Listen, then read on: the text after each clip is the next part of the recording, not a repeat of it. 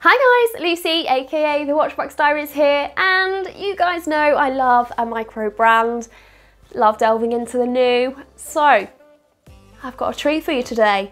This is the Batavi Geograaf, and I don't know why I feel the need to say it that way every time, but I do, so deal with it?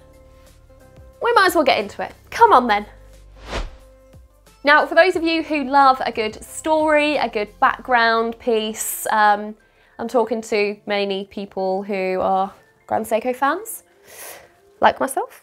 Um, I love knowing sort of the origins of stories and like inspirations and things. So, the name Batavi actually comes from a little village um, way back when um, who stood up against mighty oppressors um, even though they knew they would never win, um, which shows incredible courage.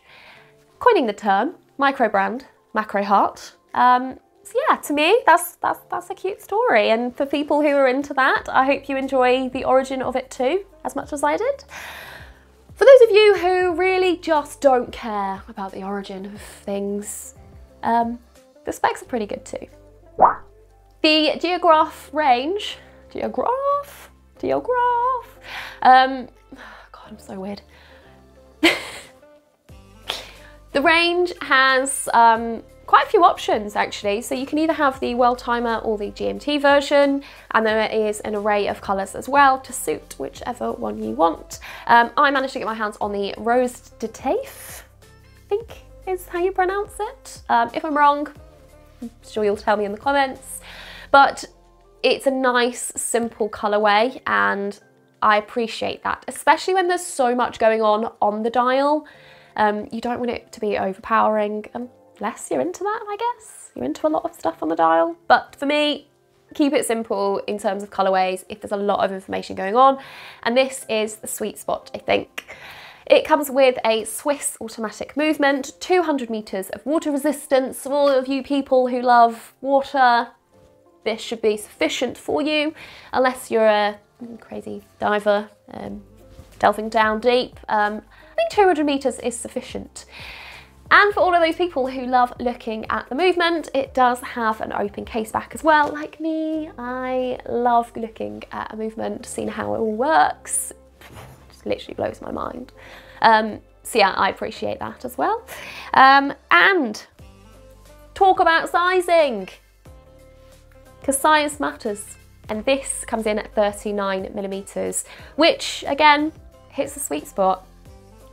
It has enough wrist presence that it's legible, um, but it's not overpowering and oversized like it's a dish on your wrist.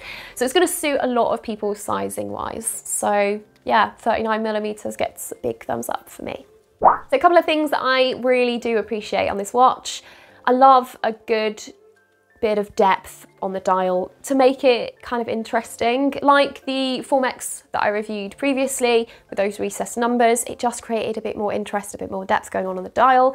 And this stepped dial um, on the Batavi, I appreciate with my eyes. Like my, my, eyes are happy with this view. It gives it good dimensions. Um, the same goes for the contrast of the brushed and the polished case and bracelet as well. The bracelet's really comfortable which is also an additional bonus. Um, yeah, so you've got a lot of depth going on, a lot of textures, and a lot of interest for the eyes. Not only that, but the brand have has with a lot of micro brands that I've I've looked at recently, and I appreciate this so much. It's got a quick release bracelet. I mean, why is this not standard on absolutely everything now? I still have no idea, but I, I love changing my watch straps out between the bracelets, the straps, different colours, matching my outfits. And when it's easier to do so, I find myself reaching for that specific watch a lot more than something that takes a lot longer and a lot more faff to change. So uh, I will always, always, always point out and appreciate a watch that has a quick release bracelet. In addition, it's got push button clasps, so I'm obviously already gonna like so I kind of am struggling to find anything on this watch that I don't like that much or that isn't my personal taste. Um, I think having so much on the dial could put a few people off.